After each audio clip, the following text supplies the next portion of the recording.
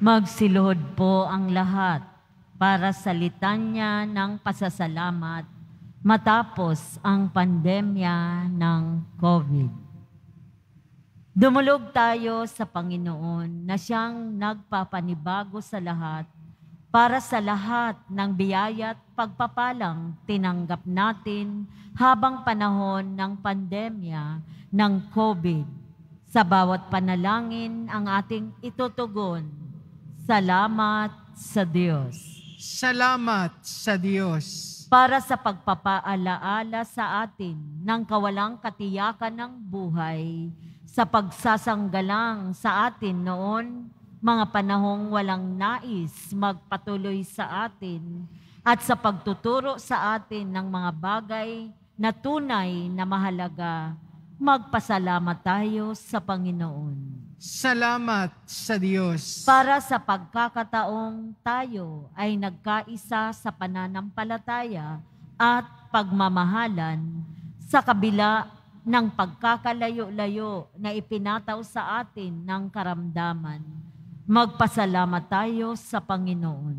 Salamat sa Diyos. Para sa mga bayaning bukas palad na nag-abot sa atin ng tulong pang-agham, panlipunan at pang-espiritual sa kabila ng panganib na maaaring dulot nito sa kanilang buhay.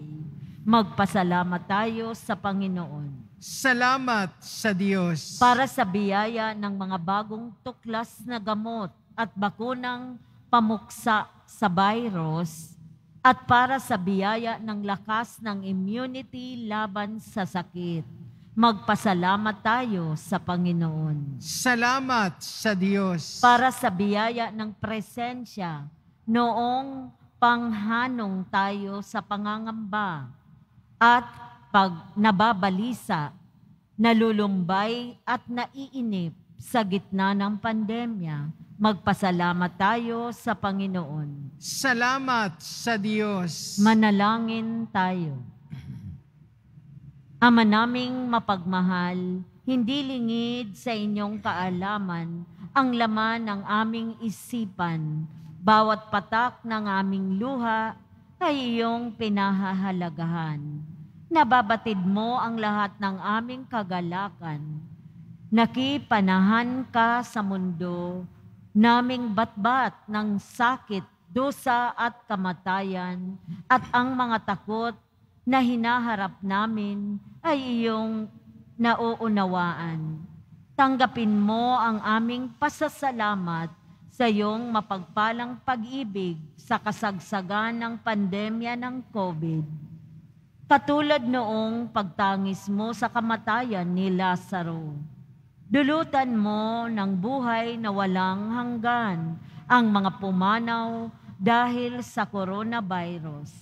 Ang aming mga pangamba ay pinalitan mo ng ligaya, kaya nag-uumapaw ang aming puso sa pagpupuri at pasasalamat sa iyo. Sa iyo ang lahat ng kadakilaan, ngayon at magpasawalang hanggan. Amen. Maria Saklolo ng mga Kristiyano. Ipanalangin mo kami. San Miguel Arcangel. Ipanalangin mo kami. San Roque. Ipanalangin mo kami. Sa ngalan ng Ama at ng Anak at ng Espiritu Santo. Amen. Magsiupo muli.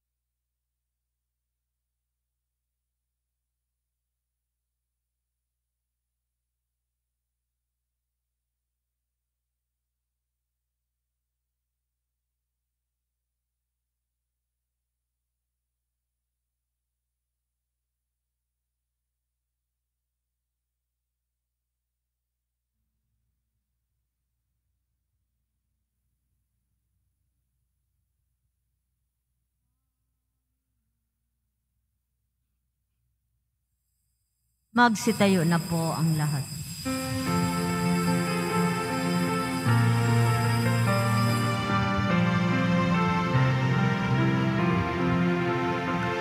Magpuri kayo sa Panginoong Diyos, lahat ng santinakpan. Magsiawit kayo at siya'y pagdangal, magpakailanman. Magpuri kayo mga anghel ng Diyos sa Panginoong may kapal.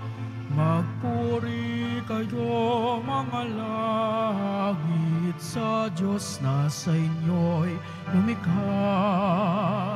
Magpuri kayo sa Panginoong Diyos, lahat ng santinakpan. Magsiawit kayo at siya'y pagdangal, magpakailanman. Mga kapatid, simulan natin ang ating pagdiriwang sa ngalan ng Ama, ng Anak at ng Espiritu Santo. Amen. Ang pagpapala ng ating Panginoong Heso Kristo, ang pag-ibig ng Diyos Ama, at ang pakikipagkaisa ng Espiritu Santo naway sumainyong lahat. At sumaiyo rin. Sa mga naririto po, gayon din na mga sumusubaybay sa atin sa pamamagitan ng live streaming sa Facebook, YouTube, Twitter at TV Maria, magandang umaga po sa inyong lahat. At sa mga kapatid nating nasa ibang panig ng daigdig, isang mapagpalang araw po.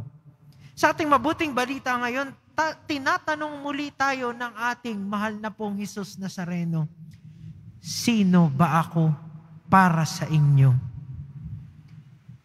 Naway, lagi natin siyang makilala bilang ating Diyos na nararapat lamang pagkatiwalaan, na nararapat lamang purihin at sundan. Mga kapatid, tinipon tayo bilang kaanib ng angkan ng Diyos. Kaya dumulog tayo sa maawaing Panginoong nagpapatawad ng lubos.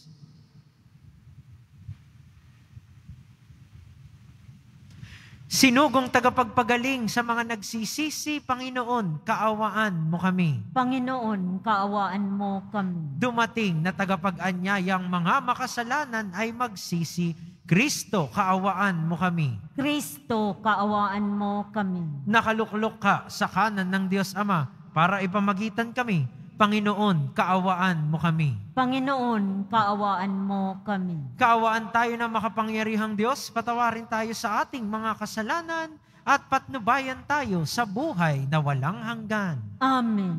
Manalangin tayo. Ama naming makapangyarihan, pinangangatawanan mong manahan sa mga may loobing tapat at maaasahan.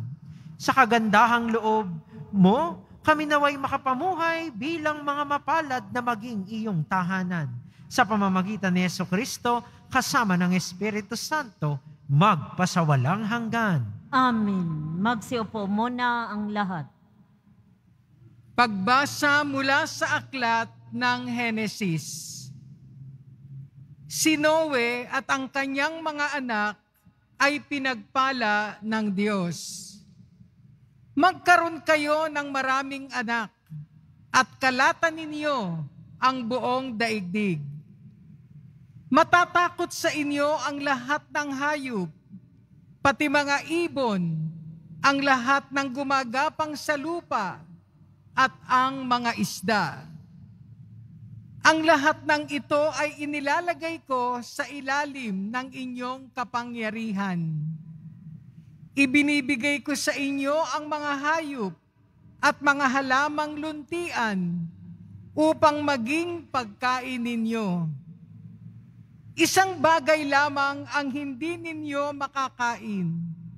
Ang karning hindi inalisan ng dugo na siyang sagisag ng buhay. Papatayin ang sino mang papatay sa inyo, maging ito'y hayop. Sisingilin ko ang sino mang taong papatay ng kaniyang kapwa. Sino mang pumatay ng kanyang kapwa ay buhay ang bayad sa kaniyang ginawa. sapagkat ang tao'y nilalang, nilikha, ayon sa larawan ng Diyos na dakila. Magkaroon nga kayo ng maraming anak upang kalatan nila ang buong daigdig. Sinabi ng Diyos kay Noe at sa kanyang mga anak, Ako'y nakikipagtipan sa inyo ngayon, pati na sa inyong magiging mga anak. Gayon din sa lahat ng mga bagay na may buhay sa paligid ninyo. Mga ibon, maaamot maiilap na hayop na kasama ninyo sa daong. Ito ang masasabi ko sa aking pakikipagtipan sa inyo Kailan may hindi ko nalilipulin sa pamamagitan ng baha ang lahat ng may buhay. Wala nang baha na gugunaw sa daigdig. Sinabi pa ng Diyos, ito ang magiging palatandaan ng walang hanggang tipan na ginagawa ko sa inyo at sa lahat ng hayop. Palilitawin ko sa mga ulap ang aking bahaghari at iyan ang magiging tanda ng aking pakikipagtipan sa inyo. Ang salita ng Diyos. Salamat sa Diyos. Mula sa iyong luklukan, lahat ay iyong minamasdan. Mula sa iyong luklukan, lahat ay iyong minamasdan. Ang lahat ng bansa sa puon ay takot. Maging mga hari sa buong sinukob. Kung iyong itayong pamuli ang Siyon, ikay mahahayag doon, Panginoon. Daing ng mahirap ay iyong diringgin di mo tatanggihan ang kanilang daing. Mula sa iyong luklukan, lahat ay iyong minamasdan. Ito'y matititik upang matunghayan ng sunod na lahing di pa dumaratal. Ikaw nga, o poon, ay papupurihan mula sa itaas, luklukan mong banal ang lahat sa lupa'y iyong minamasdan.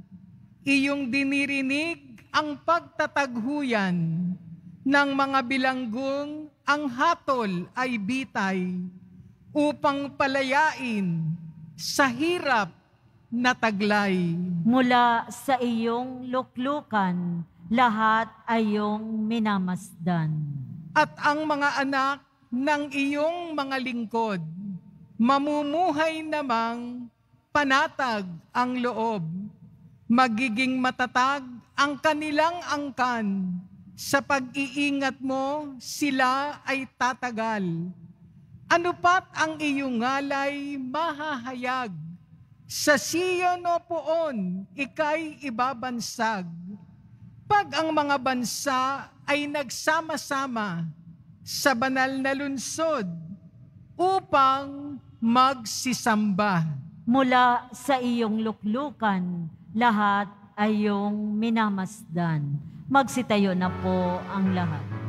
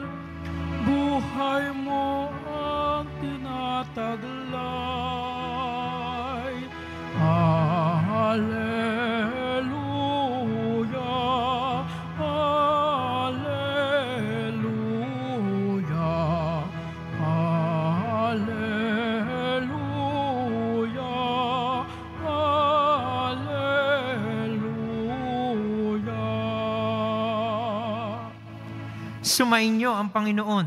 At sumaiyo rin. Ang mabuting balita ng Panginoon ayon kay San Marcos. Papuri sa iyo, Panginoon.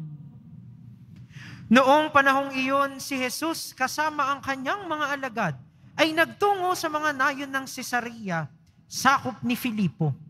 Samantalang sila'y naglalakbay, tinanong niya ang kanyang mga alagad, Sino raw ako ayon sa mga tao?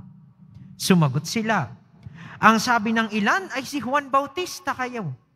Sabi naman ng iba, si Elias kayo. At may nagsasabi pang isa kayo sa mga propeta. Kayo naman, ano ang sabi ninyo? Sino ako?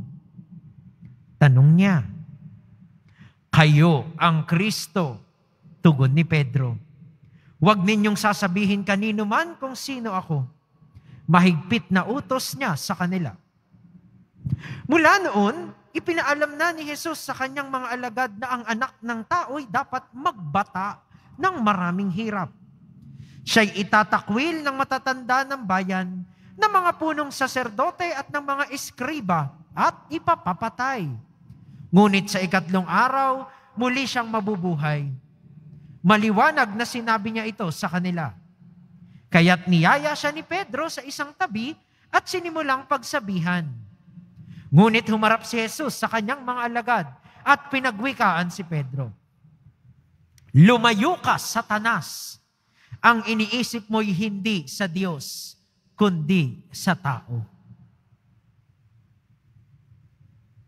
Mga kapatid, ang mabuting balita ng Panginoon. Pinupuri ka namin, Panginoong Heso Kristo. Magsiupo muna ang lahat. Muli po sa mga naririto, gayon din ng mga sumusubaybay sa atin sa pamamagitan ng live streaming. Magandang umaga po sa inyong lahat. At sa mga kapatid nating nasa ibang panig ng daigdig, isang mapagpalang araw po. Kilala ba natin ang ating Diyos sa ating buhay? Kung tutuusin po, ang atin pong mga pagbasa ngayon ay tungkol sa pagkilala sa Diyos. No? Sa unang pagbasa, matapos na parusahan ng Diyos ang mundo sa pamamagitan ng pagbaha, subalit may pagliligtas kay Noe at sa kanyang pamilya at sa mga hayop ng mundo sa pamamagitan ng arko, ipinangako niya, no?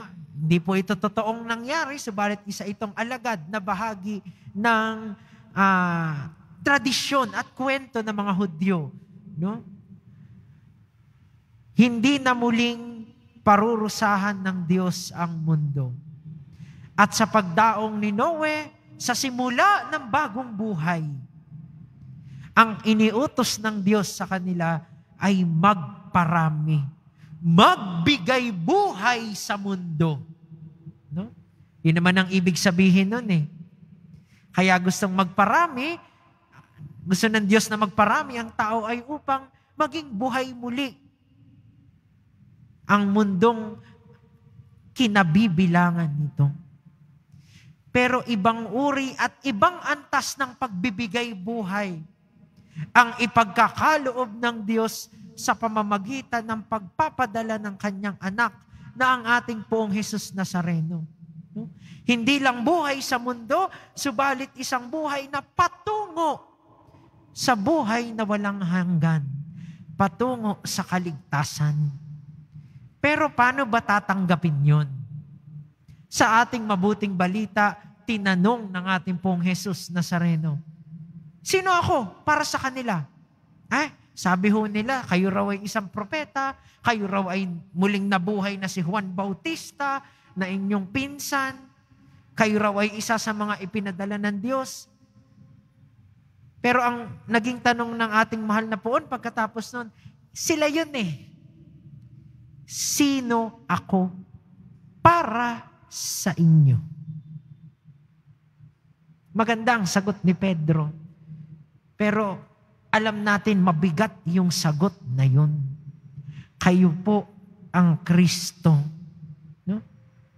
Sa ibang version ng mabuting balita, no? may pag-amin na si Kristo na siya ang Kristo, ang ipinadala ang pinili, ang bugtong na anak ng Diyos. Pero kung tutuusin, mabigat yun. Kasi ang ibig sabihin nun, kung ikaw ang kinikilala kong Diyos, ikaw ang sinusundan ko, ikaw ang pinagkakatiwalaan ko. Kung saan ka pupunta, pupunta ako. Kung ano yung mahalaga sa iyo, yun din ang mahalaga sa akin. Kung ano yung ipinangako mo, kakapitan ko. Kaya tumiklop si Pedro nung sinabi ng ating pong Isus Nazareno, eh kung pupunta ako sa paghihirap at kamatayan. No? Tumiklop si Pedro kung tutuusin dahil gusto niyang ipagtanggol at iwasang mangyari yun.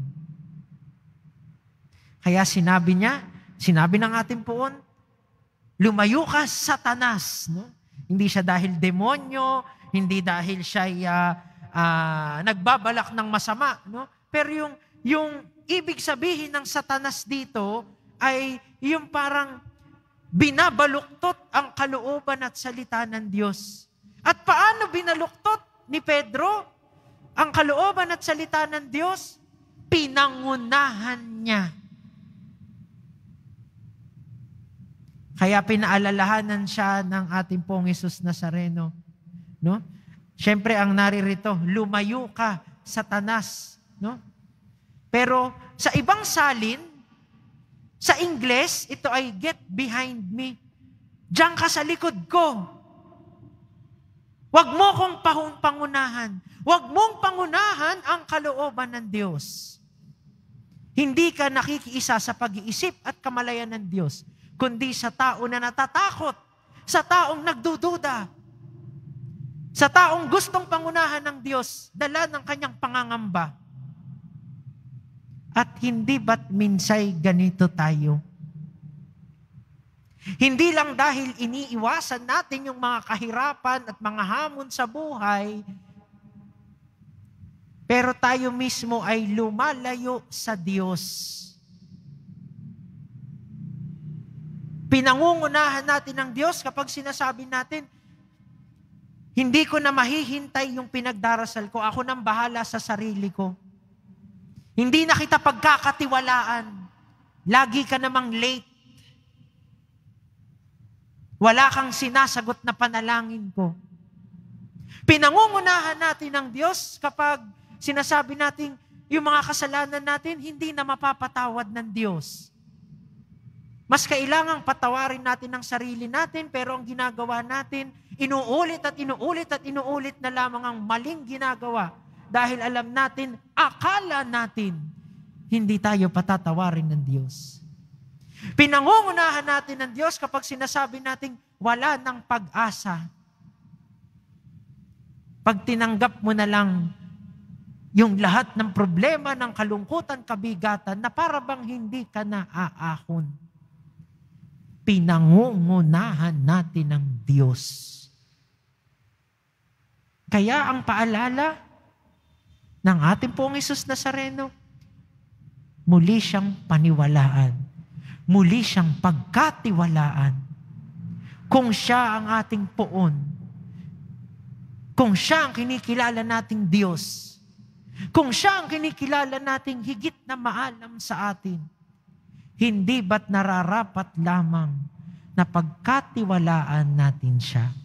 Hindi ba't nararapat na ipagpatuloy lang natin yung mabuting pamumuhay? Yung pagsusumikap, iwasan ang pagkakasala.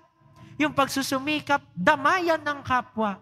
Yung pagsusumikap, magkaroon ng isang buhay na marapat at matuwid. Kahit na minsan, yung pagiging mabuti natin minamasama ng iba. Ito ang ating pananampalataya. Ito ang pagkilala natin sa Diyos ng buhay kay Kristo Jesus na ating puon. At ito ang hingin nating uri ng pananampalataya na sana'y lumago sa ating pagdiriwang ng banal na misa. Mahal na pong Jesus Nazareno, maawa ka sa amin. Magsitayo na po ang lahat.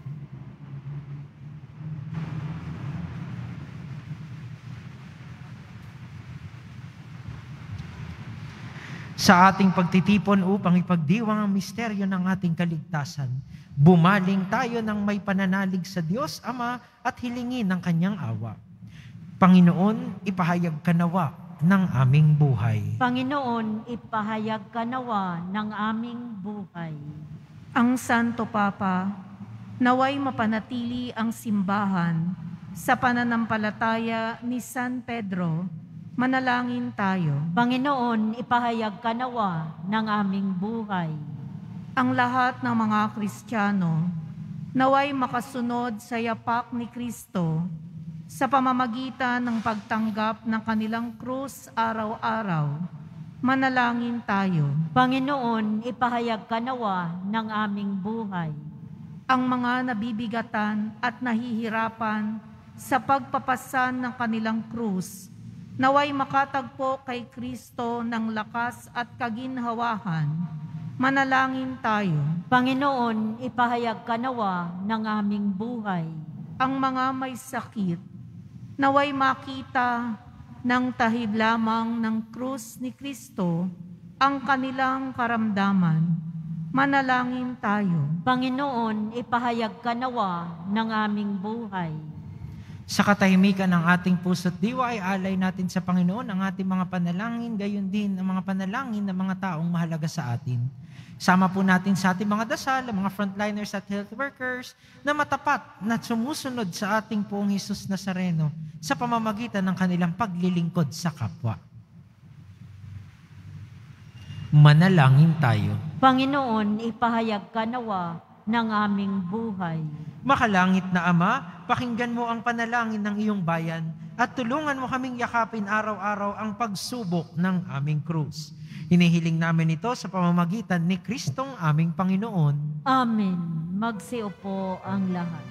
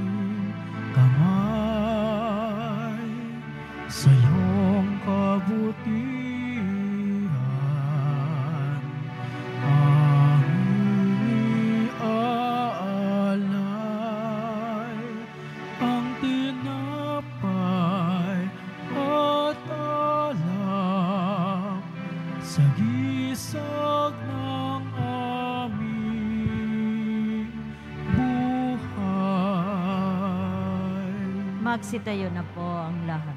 Manalangin kayo mga kapatid upang ang paghahain natin ay kalugdan ng Diyos amang makapangyarihan. Tanggapin nawa ng Panginoon itong paghahain sa iyong mga kamay sa kapurian niya at karangalan sa ating kapakinabangan at sa buong sambayanan niyang banal. Ama naming lumikha, kami naway dalisayin at panibaguhin ng aming gaganaping paghahain. Kami naway itaguyod ng gagawin naming ito sa pagnanais naming sundin ang loob mo sa pamamagitan ni Yeso Kristo kasama ng Espiritu Santo magpasawalang hanggan. Amen. Sumainyo ang Panginoon. At sumaiyo rin. Itaas sa Diyos ang inyong puso at diwa. Tinaas na namin sa Panginoon. Pasalamatan natin ang Panginoong ating Diyos. Marapat na siya ay pasalamatan. Ama naming makapangyarihan, tunay ngang marapat na ikaw ay aming pasalamatan. Ikinalugod mong likhain ng sanlibutan na iyong pinagbabago at idinarangal sa pamamagitan ng iyong anak na kinalulugdan. Kaya't utang na loob na iyong mga itinatangi at ng mga banal na kapiling mong lagi ang iyong paggiliw at pagkakandili. Kaya kaisa ng mga anghel na nagsisiawit ng papuri sa iyo nang walang humpay sa kalangitan, kaming nagbubunyi sa iyong kadakilaan. Santo, Santo, Santo, Panginoong Diyos ng mga hukbo, Napupuno ang langit at lupa ng kadakilaan mo. Usana sa kaitaasan. Pinagpala ang naparirito sa ngalan ng Panginoon. Usana sa kaitaasan. Magsilod po ang lahat.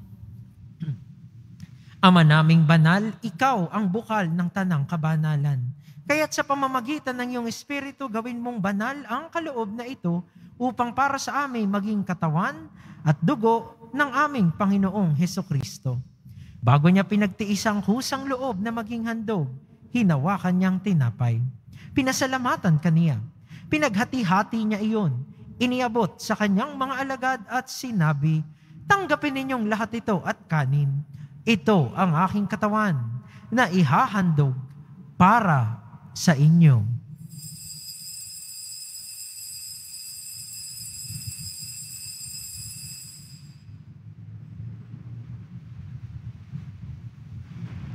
Gayun din naman, matapos ang hapunan, hinawakan niya ang kalis. Muli kanyang pinasalamatan. Iniabot niya ang kalis sa kanyang mga alagad at sinabi, Tanggapin ninyong lahat ito at inumin. Ito ang kalis ng aking dugo, ng bago at walang hanggang tipan.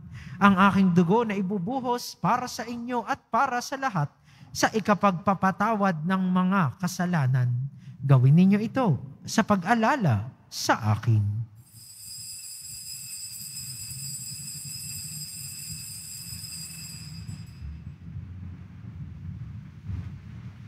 Magsitayo na po ang lahat. Ipagbunyi natin ang misteryo ng pananampalataya. Si Kristo'y namatay, si Kristo'y nabuhay, si Kristo'y babalik sa wakas ng panahon. Ama, ginagawa namin ngayon ang pag-alala sa pagkamatay at muling pagkabuhay ng iyong anak. Kaya't iniaalay namin sa iyo ang tinapay na nagbibigay buhay at ang kalis na nagkakaloob ng kaligtasan. Kami nagpapasalamat dahil kami iyong minarapat na tumayo sa harap mo para maglingkod sa iyo. Isinasamo namin kaming magsasalo-salo sa katawan at dugo ni Kristo ay mabuklod sa pagkakaisa sa pamamagitan ng Espiritu Santo. Ama, lingapin mo ang iyong simbahang laganap sa buong daigdig. Puspusin mo kami sa pag-ibig. Kaisa ni Francisco naming Papa, at ni Jose na aming obispo at ng tanang kaparian. Alalahanin mo rin ng mga kapatid naming nahimlay nang may pag-asang sila'y muling mabubuhay, gayon din ng lahat ng mga pumanaw. Kaawaan mo sila at patuloyin sa iyong kaliwanagan. Kaawaan mo at pagindapatin kaming lahat na makasalo sa iyong buhay na walang wakas. Kaisa ng mahal na Birheng Maria na ina ng Diyos, ng kabiyak ng puso niyang si San Jose, kaisa ng mga apostol ni San Juan Bautista at ng lahat ng mga banal na namuhay dito sa daigdig ng kalugod-lugod sa iyo, maipagdiwang nawa namin ang pagpupuri sa ikararangal mo sa pamamagitan ng iyong anak na aming Panginoong Heso Kristo. Sa pamamagitan ni Kristo, kasama niya at sa Kanya, ang lahat ng parangal at papuri ay sa iyo, Diyos amang makapangyarihan, kasama ng Espiritu Santo, magpasawalang hanggan. Amen.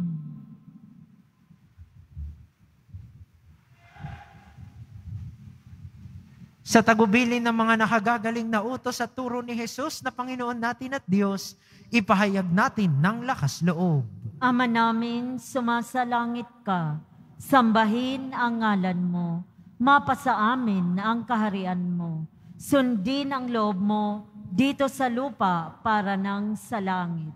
Bigyan mo kami ngayon ng aming kakanin sa araw-araw at patawarin mo kami sa aming mga sala para nang pagpapatawad namin sa nagkakasala sa amin at huwag mo kaming ipaintulot sa tukso at iadya mo kami sa lahat ng masama.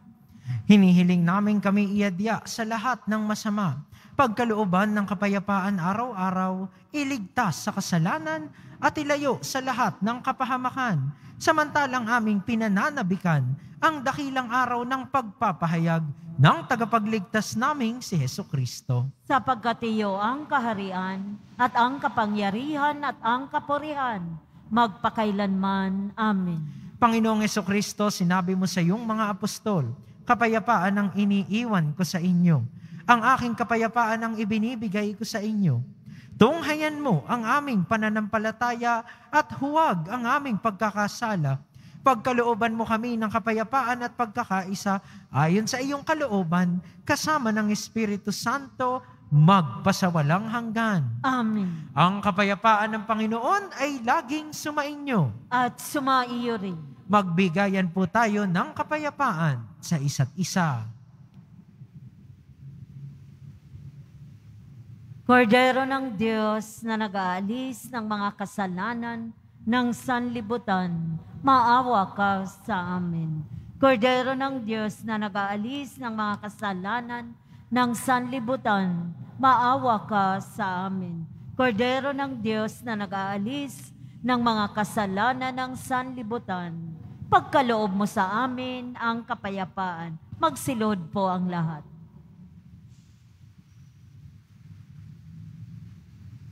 Mga kapatid, ito ang kordero ng Diyos. Ito ang nag-aalis ng kasalanan ng sanlibutan.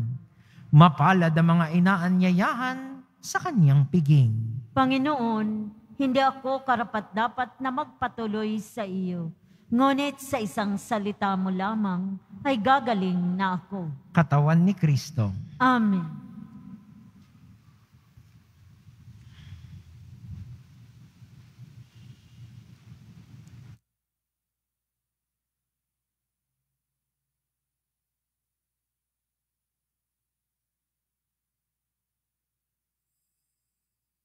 Para sa lahat ng tatanggap ng banal na komunyon, ang tamang paraan ng pagtanggap ay kaliwang kamay sa ibabaw ng kanang kamay. At sasagot po tayo ng amin pagkasabi ng pare o ng lay ministers ng katawan ni Kristo at isubo sa bibig bago umalis sa harapan ng pare o lay ministers. Sumunod po tayo. Maraming salamat po.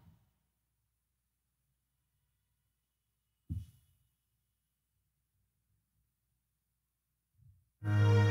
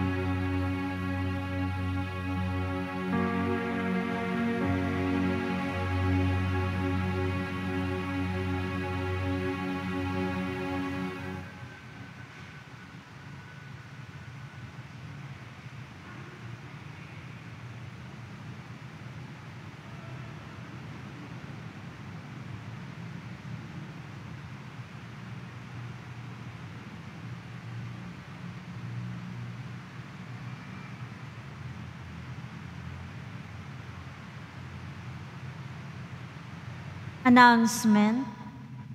Kung kayo po ay mayroong naitatabing mga lumang palaspas noong mga nakaraang taon, ay maaari nyo na pong dalhin dito sa ating simbahan.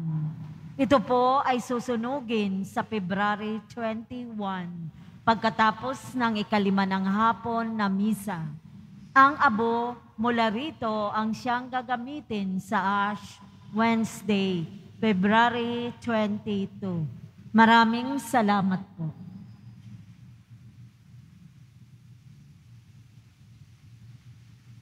Pinaalalahanan ng lahat na huwag maging kampante sa banta ng COVID-19.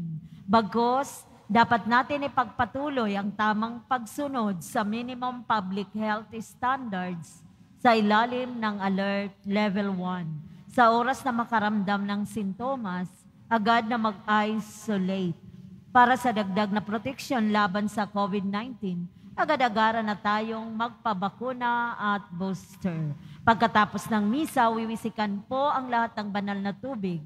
Pinakikiusapan ang lahat na manatili lamang sa inyong mga o lugar o kinauupuan. Pagkatapos ng pagwiwisik, mangyari lamang na maupo muna ang lahat ng nasa loob ng simbahan at hintayin banggitin ang grupo ng inyong inuupuan bago po kayo lumabas ng simbahan.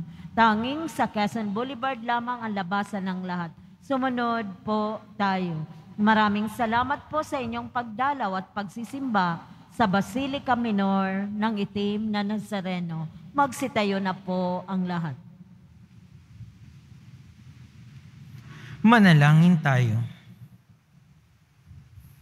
Ama naming mapagmahal, kaming pinapagsalo mo sa banal na pakikinabang ay gawin mong laging manabik na pagsaluhan ang kaloob mong ito sa aming ikabubuhay sa pamamagitan ni Yeso Kristo kasama ng Espiritu Santo magpasawalang hanggan. Amen. Paalala lamang po bago ang huling pagbabasbas na kapag tayo ay nagdiriwang ng banal na sakramento, nagdarasal at nagdedebosyon sa loob at sa paligid ng simbahan, ay kinakailangan pong maayos ang ating pagsuot ng face mask. No? Siguradong nakatakip o natatakpan ang inyong ilong at bibig ng maayos at hindi lamang po nakalaylay at hindi inaalis kung hindi naman kailangan. Sumainyo ang Panginoon. At sumaiyo rin. Magsiyuko para sa pagbabasbas. Mahal na poong Jesus Nazareno, inihayag mo sa pamamagitan ng krus ang walang maliw na pag-ibig ng Diyos sa sangkatauhan. Pakinggan mo ang kahilingan ng iyong angkan na nagsusumamo sa iyo. Makamtanawa nila ang iyong katugunan at tanggapin ang kasagutan na may utang na loob na tinatanaw. Basbasan din po ninyo mga daladala nilang mga imahen at dasalan sa pamamagitan ng bendisyong ito Naway maalaala nila ang mga pangako nila noon sa binyag na ikaw ang kanilang iibigin at paglilingkuran bilang Panginoon magpasawalang hanggan. Amen. At pagpalain nawa tayo ng ating makapangyarihan at mapagmahal na Diyos, Ama, Anak, at Espiritu Santo. Amen. Tapos ng misa, humayo kayong dala ang pag-ibig at kapayapaan ng ating poong Jesus, Nazareno. Salamat sa Diyos. Magandang umaga po sa inyong lahat.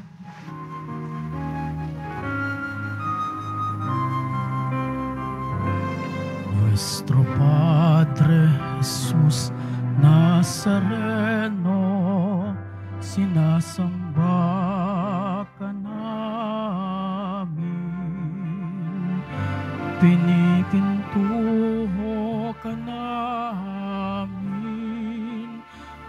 Aral mo ang aming buhay at kaligtasan. Nuestro Padre Jesus Nazareno, iligtas mo kami sa kasalanan. Ang krus mong kinamatayan ay sagisag ng aming kaligtasan. Nuestro Padre Jesus Nazareno, dinarangal ka namin. Nuestro Padre Jesus Nazareno, inulwalhati ka namin. Nuestro Padre Jesus Nazareno, dinarangal ka. Nuestro Padre Jesus Nazareno, nilulwalhati ka namin.